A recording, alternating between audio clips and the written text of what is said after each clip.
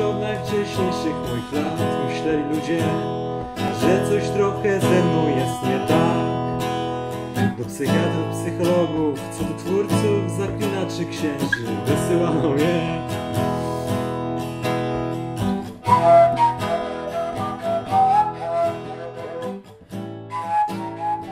Zimowa. Zimowa. Właśnie nie trafiła, ale... Hiszpania, Egipt, Teneryfa, byliśmy jeszcze w Maroku. Tu mamy Rzym. Praga była, Gran Canaria. Byliśmy na, w Tassos, Wyspa Grecka i Kreta, też Wyspa Grecka. Idealny dzień wakacyjny, no to siódma, ósma, tak, w miarę wcześnie trzeba wstać. Dnia nie marnować, tak, nie tak jak teraz w Polsce, że się człowiek wyleguje. Chyba, że do pracy musi wstać, no to inaczej. Kto jak woli, tak? Żeby się wyspać, e, mieć energię, ale żeby to nie było zbyt późno. Później byłem jeszcze na Costa del Sol, Tu ale to było jak byłem za WF-em. Pojechaliśmy sobie autobusem. Zamiast się integrować w towarzystwie, no to widzę, że Adam wybrał bardziej zwiedzanie. Nie no, byłem zintegrowany No nawet tak, na... e, Ale też go szukał Chłopaki chyba. nazywali mnie podróżnik, Tak, bo go szukali. po więc prostu skąd, Adam skądś to musiało powstać, powiedział, że tak? gdzieś idzie, a potem się okazało, że nie było go cały dzień, a on w Tossa de Marcy to było naprawdę Tak. dosyć daleko i na szczęście na ostatni Było prom tak, zdążył. że Szukano go, dlatego podróżnik. wyprawa do Barcelony, większość ludzi pojechała, a ja się oddzieliłem i musiałem do nich dołączyć. Masz duszę podróżnika, to nie boisz się samodzielności i nie musisz z grupą podróżować, po prostu może jest to bardziej niebezpieczne. Nie wiem, konsekwencji moich jakichś y, późniejszych wydarzeń. Wolałbym z kimś podróżować, ale wtedy byłem dosyć młody jeszcze i niezdyscyplinowany, więc wolałem, wolałem sam po prostu. Najtrudniej było znaleźć wycieczkę. No bo niby jak, y, jak nie wiesz, gdzie oni są. Ale To wiesz, to od razu. telefon- Dzięki intuicji. Tak, dzięki intuicji możesz zrobić i dobro, i zło. Liceum? Ja zawsze miałem jakichś psychologów, ale nie potrzebowałem w liceum tak naprawdę pomocy jakiejś specjalnej, tyle że się maturą stresowałem strasznie. Dużo siedzenia było, jedzenia mi się wydawało, że tyję. Nie mogłem tego jedzenia po prostu już później przetrawić za mało ruchu było i musiałem pójść w sport, tak po prostu. Też w szkołach nie ma tak specjalnie wypośrodkowania pomiędzy ruchem a edukacją, tylko jest dużo tego siedzenia w miejscu i mało WF-u mieliśmy. Dużo zajęć artystycznych, muzycznych i niektórym to po prostu brakuje tego, żeby wypośrodkować pomiędzy zdrowym ciałem a, a duchem, a umysłem, tak? Matura, którą zdał w rozszerzeniu z angielskiego, nie zupełnie go satysfakcjonowała, to znaczy pisemnie tak, świetnie, natomiast ustna zawsze była, wyglądało to jakby był, nie wiem, e, na poziomie podstawowym. No i to go dręczyło, więc postanowił poprawić tę maturę, z nadzieją, że na pewno się przyda w momencie, kiedy będzie aplikował na studia.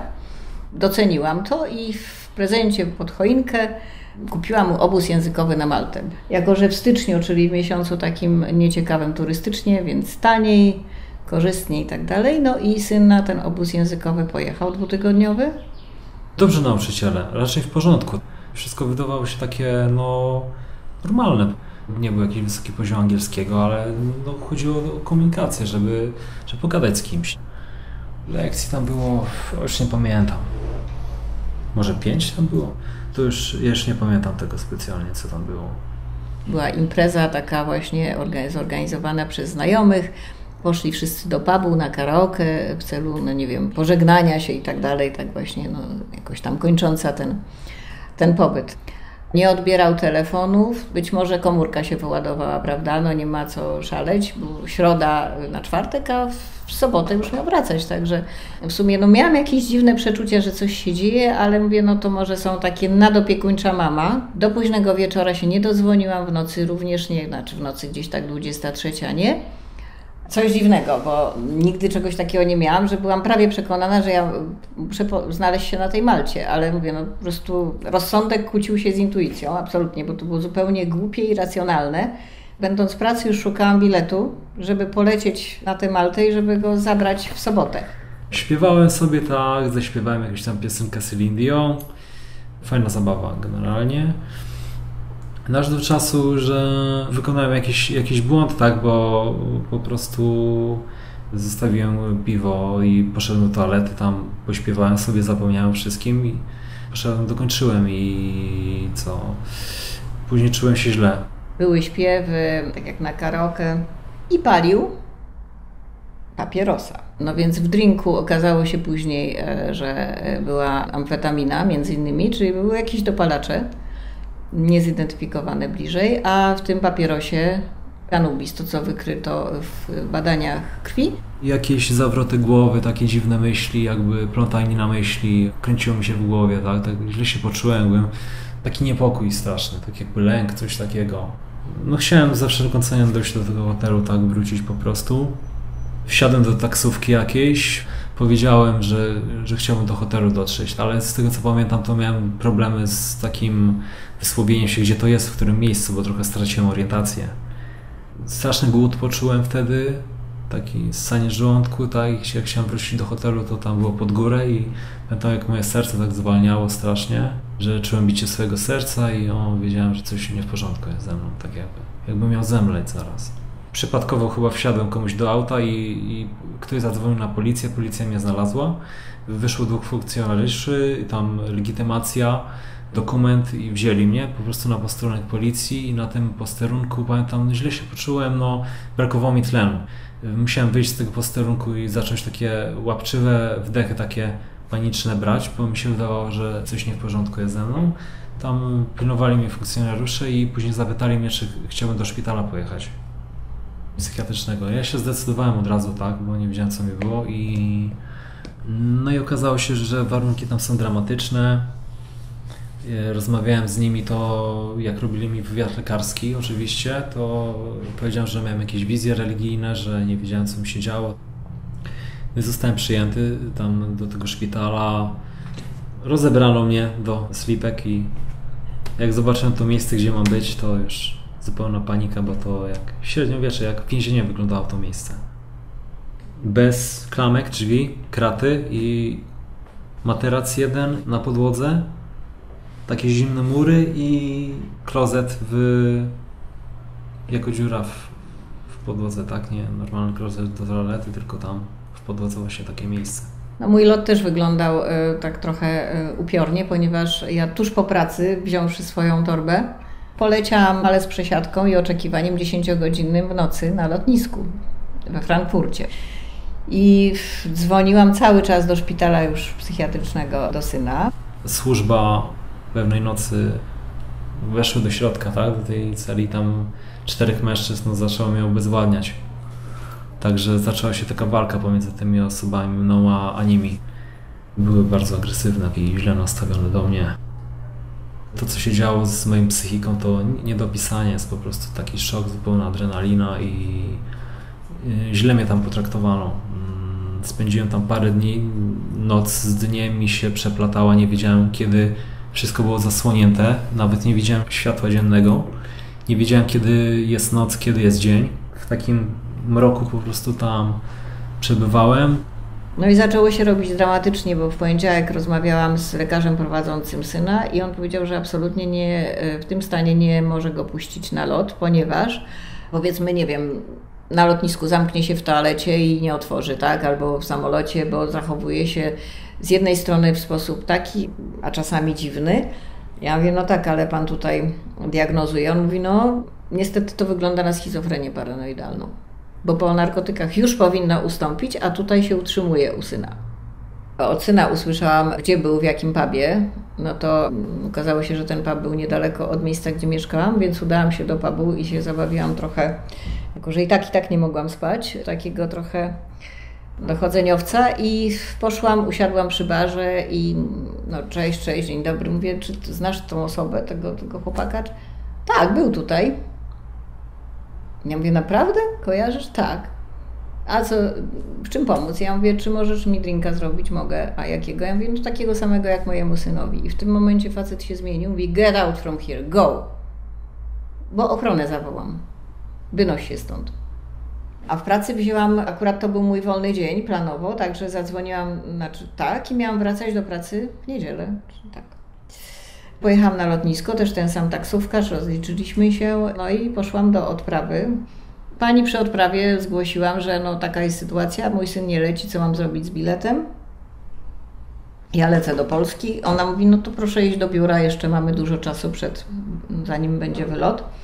No i mówię urzędnikowi, koło którego stał chyba właśnie, potem się okazało, że superwizor, szef. Ja opowiadam sytuację, a to, przepraszam bardzo, Elizabeth, powtórz, ty chcesz powiedzieć, że twój syn jest w szpitalu na Malcie, najgorszym zresztą, a ty chcesz lecieć do Polski. Tak rozumiem? Ja mówię tak. A on mówi, to jest twój syn, tak? Mhm. No to nie możesz lecieć, to musisz tu zostać i go stąd wyciągnąć. Ja patrzę, facet mi coś mówi, no dosyć młody gość, chyba po 30, około 40 może. Ja mówię, no ale jak? On mówi, no to ty już sama wymyślisz jak, ale ty nie możesz w ogóle lecieć do tej Polski. Ja mówię, tu praca, coś. On mówi, ty jesteś w jakimś szoku. Dzwoń do, do pracy, że chcesz urlop. Masz mój telefon, my zadzwonimy tutaj do naszego lekarza, żeby zadzwonił do tego szpitala, czy przypadkiem go się nie da jeszcze wziąć. Ja mówię, no w tym momencie to muszę powiedzieć, że spotkałam w skórze człowieka aniołka. Eliasz Ruben się nazywał. No, lekarz zadecydował, że okej, okay, może wrócić w środę, ale w towarzystwie, w asyście dwóch pielęgniarzy z Malty, za których bilety ja zapłacę, tudzież ich nocleg ja sfinansuję w Polsce i żeby wrócili na tą Maltę, bo samego ze mną go nie puszczą. I znowu pan Eliasz Ruben, który powiedział: OK, daj mi telefon do tego szpitala, zorganizował wszystko tak, że panowie polecieli, ja nie musiałam płacić. Panowie mieli nocleg, bo firma, akurat o której wspominam, miała w pewnym hotelu zawsze zabukowane noclegi, czyli pan załatwił te noclegi dla tych panów jako dla pracowników linii lotniczych, czyli po jakimś tam troszkę y, no, zniżce czy w koszty to weszło. Przebukował znowu bilety na środę i tym razem mogliśmy wylecieć. Komunikat był bardzo niepokojący, ale też niejednoznaczny, czyli że Adam został przywieziony do Polski i jest w szpitalu psychiatrycznym na obserwacji. Karol, przyjaciel Adama. Nie wiadomo, co się z nim działo. Dopiero później dochodziły kolejne szczegóły i trochę też mieszania w tych szczegółach, ponieważ od Adama wychodziła trochę inna wersja niż ta, którą później usłyszałem. No, słyszałem, że to niestety była rzeczywiście spora dawka narkotyków. To była dziwna mieszanka, nie tylko narkotyków, ale i dopalaczy. To ona niestety wywołała u niego zatrucie, a po drugie niestety uruchomiła jakiś spust w jego umyśle. Widać było u niego już duże zmiany w zachowaniu. Wtedy myślałem, że te zmiany są spowodowane szokiem, przejściami i, i że jest to coś, co ustąpi. Dopiero po jakimś czasie zrozumiałem, że to niestety już e, stała zmiana.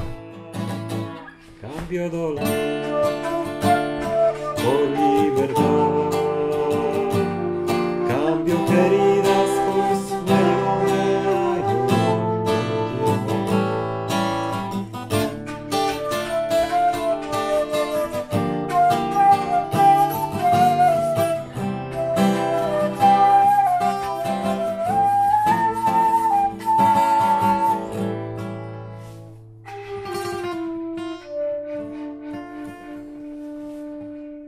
To jest Mariusza gitara akustyczna, a ja ze sobą gitarę flamenco. Moją własną. Fenomenalne. No po prostu z tym nie można nic innego porównać. To jest taki przypływ e, dobrej energii. Zagrać to dobrze, to jest taka satysfakcja. Ten, kto wykonuje, kto gra, no to jest jakby przekazywał innym ludziom, tak? Coś dobrego, nie? Bo jak się po prostu człowiekowi płonie ognisko w jego własnym domu, to co ma zrobić? Ratować się tylko. No i trzeba było się ratować w życiu, tak, niejednokrotnie. Tak ten żywot jest skonstruowany. Ciężkie chwile one dają takiego kopa, taką motywację, że, że człowiek nie, nie może się po prostu załamać i tyle. Musi no. iść dalej i choćby nie wiem co, no bo co? Przegrać, tak, to życie? Po to jest właśnie chyba, żeby, żeby się na tyle zmotywować, a jest to trudne, jest to bardzo trudne ale jak już się przełamie te bóle, to, to coś wychodzi później z tego, nie?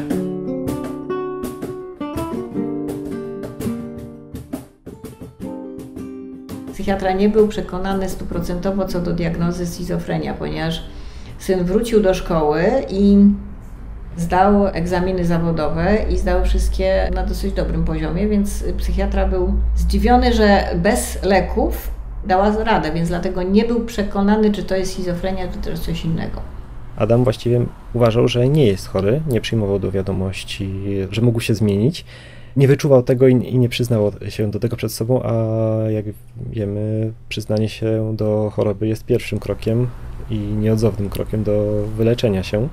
Po ukończeniu szkoły dziwnie się już zaczął zachowywać. Gubił się na ulicy, bał się na przykład, że nie w tym kierunku jedzie w momencie, kiedy znalazł się w, ze znanym sobie środowisku, w którym sobie radził, nie wiem, jako małe dziecko. Zachowania były dziwne, często było tak, że nie mógł spać w nocy, budził mnie w nocy, opowiadać chciał o jakichś rzeczach, albo mówił, że źle się czuje, ale nie wie z czego to wynika. No sporo, że tak powiem, było tych wydarzeń takich, że ja no, przeżyłam gehennę, bo mówię, człowiek teoretycznie był bez ubezpieczenia, bo ani pracy nie mógł znaleźć, ani studiów, czyli ani nie był studentem, ani uczniem, ani pracownikiem. W razie czego jakby się coś stało, no to rzeczywiście no, e, mamy problem. Nie wiedział, co ma zrobić. To było w ogóle taki jakiś przestrach, dezorganizacja kompletna. Próbowaliśmy jakoś go nakłonić na obserwację w szpitalu psychiatrycznym. No i diagnoza niestety potwierdziła się, że zdaniem specjalistów jest to schizofrenia paranoidalna. No, bez omamów, czyli tego, że słyszał głosy nieistniejące, postaci, widział coś takiego, nie. Ale niestety konieczność zażywania leków. Leczenie Adama na pewno było czymś, co zmieniło to, że podczas spotkania mogłem się już poczuć spokojniej, ponieważ Adam sam był bardziej wyluzowany nie miewał już takich emocjonalnych wahań, choć i wcześniej one nie były zbyt, nie były częste, to było zaledwie kilka, kilka razy, kiedy widziałem jakieś większe uniesienie, ale zawsze sama świadomość tego, że nie trzeba się na nic takiego przygotowywać jest uspokajająca. Zaczął działać i szukać różnych środowisk, w których mógłby się sam udzielać. Wiem, że jest w duszpasterstwie, uczy się aktywnie gry na gitarze, a nawet podejmuje pracę i to nie tylko jako muzyk, choć i w tym się stara rozwijać, ale także pracuje obecnie w marketingu internetowym. Otrzymuje rentę tą najniższą krajową. Druga grupa inwalidztwa. No oczywiście co dwa lata jest na komisji, no bo to trzeba, no, czy stan się poprawia, czy nie podejmował przeróżne prace, przeróżne, a to w jakimś tam, nie wiem, firmie kurierskiej gdzieś jakieś paczki przerzucał, no w ogóle bardzo dużo różnych prac, jakie się śmieję. Ja jestem ciągle w jednym miejscu, to syn tych prac zmienił chyba ze 20 parę, ale to były prace trwające miesiąc, dwa, nie dłużej, z różnych względów. Już od najwcześniejszych moich lat myśleli ludzie, że coś trochę ze mną jest nie tak. Do psychiatrów, psychologów, cudotwórców, zaklinaczy księży wysyłano mnie. A ja jestem tylko na umyśle uszkodzony, ojciec mi do tyłka zajrzał, hej. Od tej chwili jestem trochę bardziej zakręcony. Ten człowiek, który skomponował ten utwór, to jest taki mój dawny przyjaciel, z którym się znałem od przedszkola. Mariusz Puchłowski ojciec chrzestny Adama, muzyk. Ja się nie dostałem na studia, a on się dostał i zdążył wylecieć po pierwszym roku. I trafił do szkoły pielęgniarskiej i ja z nim, ojcem Adama, założyliśmy zespół rockowy, Testament się nazywał, ja grałem na perkusji, na całym zestawie, on grał na gitarze elektrycznej. On się tam telepał przez życie i jakoś tam telepie się cały czas. Namawiam Adasia, żeby jak najczęściej go odwiedzał, jak najczęściej z nim grał. Ta muzyka dla niego może też spełniać taką właśnie rolę terapeutyczną. No tutaj swobodnie mógłby się znaleźć i w trójkę byśmy sobie zagrali. By było mu na, na pewno bardzo przyjemnie. No na pewno to by było jakieś takie moje marzenie, ale no różne są perypetie, tak? Niektórzy muzycy no grają, ale do pewnego momentu a później już nie chcą grać? Wypalają się no, jakby w życiu, nie? nie? Nie tyle wypalają, co on przestał wierzyć w siebie. Tato mi dał gitarę. Jak miałem 13 lat, zainteresowałem się po prostu instrumentem, dlatego że on grał. Występować raczej on nie chciał. On wolał, żebym ja sam się w to bawił. A tak rodzinnie to gramy sobie od święta, jak jest Boże Narodzenie, to tam zagramy parę kolor, bo ja mu się trochę nie chce. On powiedział, kitę już zwiesił i dalej patrzy na mnie, jak, jak ja to robię. Ja mu się nie chce. Nie, nie, Ale nie właśnie tu. Mariusz mówi, ja go, ja go namawiałem tak, tak, no może pogramy tego tam ludzi, nie? A na scenie to raczej nie. No w sumie cały czas, tak jak mówię, byłam z tym sama. To nie było tak, że tutaj właśnie ktoś mi pomaga czy coś, tylko znajomi, ale my nie wiemy, ale no problem, masz problem, no współczujemy i to wszystko. W momencie, kiedy były te wszystkie wydarzenia, to powiedziano mi, mm, żebym jednak zadbała trochę o siebie, a nie tylko o syna. No i ja posłuchałam się mądrych koleżanek i rzeczywiście byłam wszystkim przemęczona. Moje dbanie o siebie polegało na tym, że poszłam na jogę trzy razy w tygodniu, a pracowałam po południu. Poniedziałki, środy, piątki była yoga, co skutkowało tym, że mnie nie było cały dzień w domu. I po pewnym czasie zobaczyłam, że syn mm, no, jest pijany. Czyli no tak zwane zadbaj o siebie i wzmocnij siebie, no nie wyszło mi to do końca, bo potem zrobił się problem koszmarny. Lek psychotropowy plus alkohol plus wszystko. Szukałam właśnie pomocy u psychologów. No i przez mojego znajomego, którego ten psycholog był mentorem, powiedział, że no jedyna osoba, jaką zna, to jest właśnie od podwójnych diagnoz, no bo tu nie mamy do czynienia z alkoholizmem, tylko schizofrenia niestety i alkoholizm. Straszne, bo później zaczęły mi się uzależnienia od alkoholu na przykład. Próbowałem zapić to. To jest, człowiek cierpi. Z cierpienia nie można tego zapomnieć i musiałem uciekać z narkotyków, z alkoholu, z papierosów, z tego wszystkiego. Po psychoterapię od razu, żeby nie brnąć w to dalej. Nie wiedzieć czemu, nie mogłem sobie z tym poradzić, a to po prostu psychika działa. Wraca do przeszłości i te demony przeszłości nie chcą człowieka zostawić.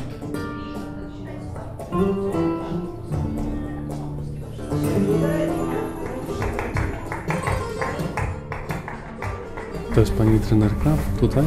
Małgorzata Wołyńczyk i szefowa, założycielka tego miejsca. Kto pierwszy pokochał flamenko? Pani czy syn? Syn.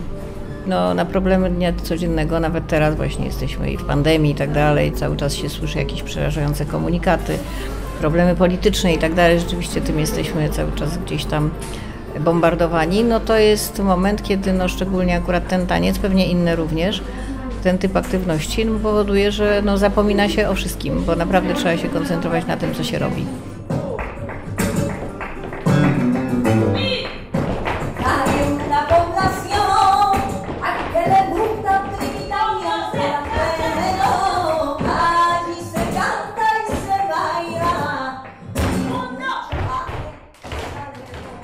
Na pewno dużą rolę tym, że nadal się kolegujemy, odgrywa jego mama, która stara się Adama dopingować do podejmowania nowych wyzwań. Stara się też organizować spotkania z różnymi jego dawnymi znajomymi, nauczycielami flamenco.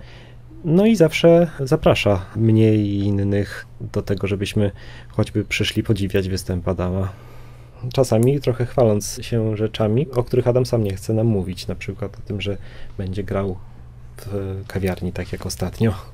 Adam sam powiedział mi o tym dopiero dzień przed. Gdybym się o tym nie dowiedział wcześniej, mógłbym mieć problem z znalezieniem czasu.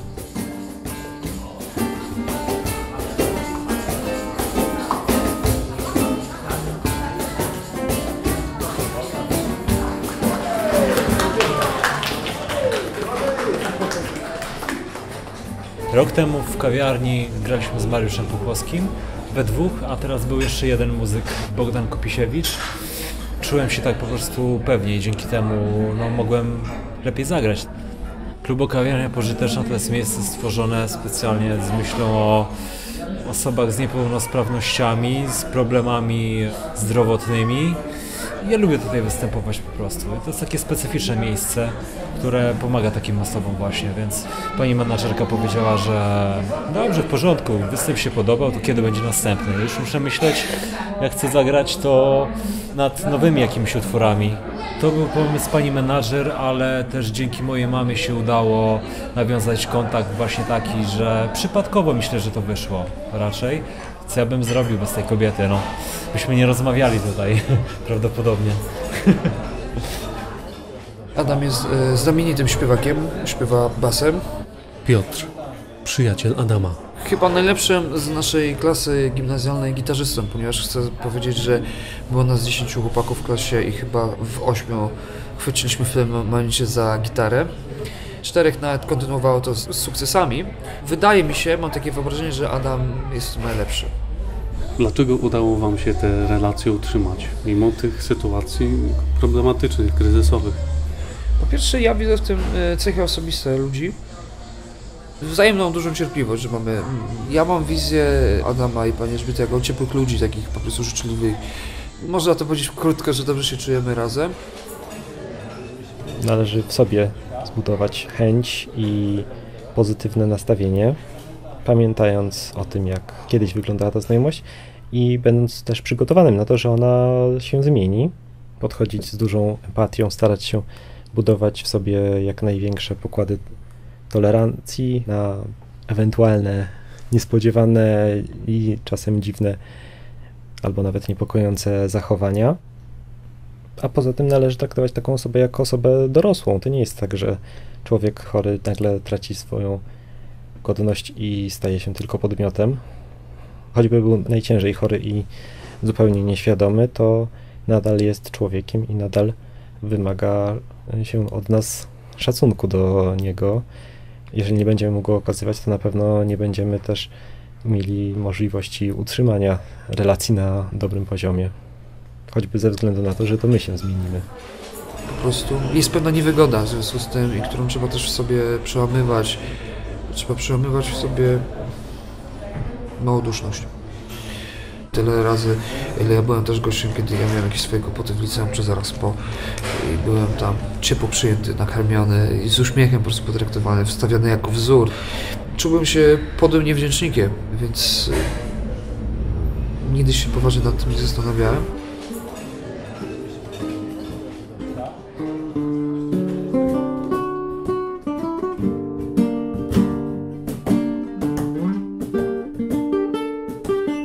Adamie, życzę Ci, żebyś rozwijał swoje pasje muzyczne, żebyś przekuł swoje naprawdę duże umiejętności i swoją wiedzę w sukces, bo myślę, że na niego zasługujesz. Od lat z przyjemnością słucham tego, jak grasz, jak opowiadasz o muzyce. Życzę Ci też, żebyś znalazł swoje szczęście w życiu, tak żebyś mógł czuć się usatysfakcjonowany z tego, co robisz i z tego, kim jesteś. To jest jakaś lampa? Lampa Aladyna śmie, to jest Maroka, tak? To jest skóra malowana i w środek można, nie, nie, nie trzeba, y, można żarówkę włożyć, wtedy się ładnie podświetla. Stoi sobie tak.